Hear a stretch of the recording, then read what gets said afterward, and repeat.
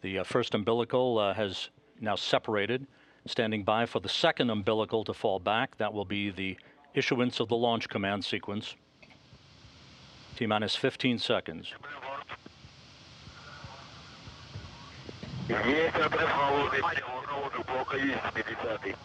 There goes the uh, second umbilical. Launch command is now issued. Engine start sequence begins. Engine turbo pumps coming up to flight speed four, three, two, one. Ignition and liftoff.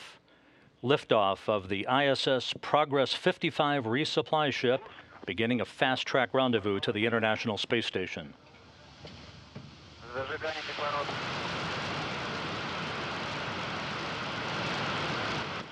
The blockhouse at Baikonur reports uh, good launch parameters. Roll, pitch, and yaw program is in.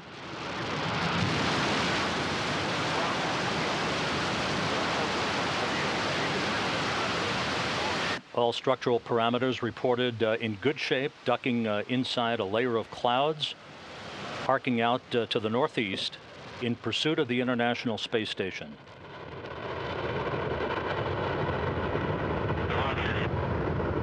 Coming up on the one minute mark of the flight,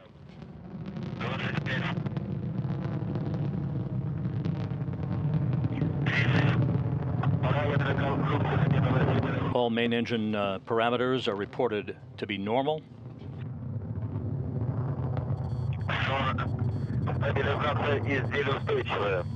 One minute, 20 seconds into the flight, about 30 seconds to go before first stage separation. The four strap-on boosters uh, will be commanded uh, to be jettisoned, falling away from the vehicle.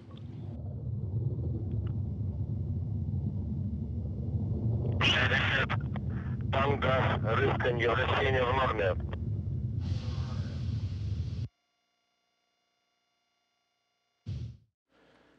All first and second stage thrusters are operating normally.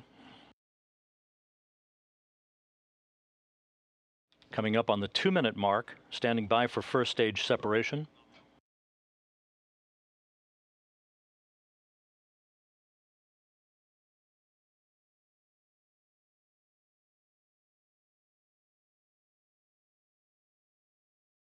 And booster separation is confirmed.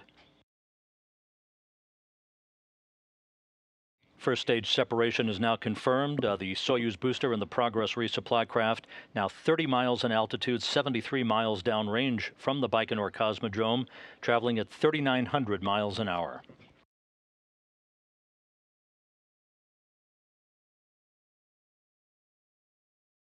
Standing by uh, for the uh, shroud jettison. First and second stage thrusters uh, reported uh, operating normally. All good indications so far as the progress heads uphill. Now we have confirmation of launch shroud jettison. This occurring uh, with the Soyuz booster and the Progress at 52 miles in altitude, 102 miles downrange, traveling 4,500 miles an hour. The vehicle is stable and reported on track.